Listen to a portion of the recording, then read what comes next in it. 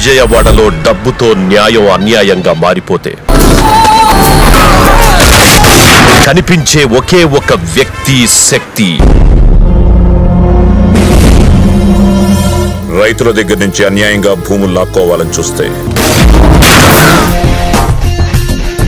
రాత్రికి రాత్రి అనుకున్నావు కదా అని చంపేయడానికి అడవి అడవిలో తిరిగే కుందేలు కాదురా. పబ్లిక్లో తిరిగే పులి!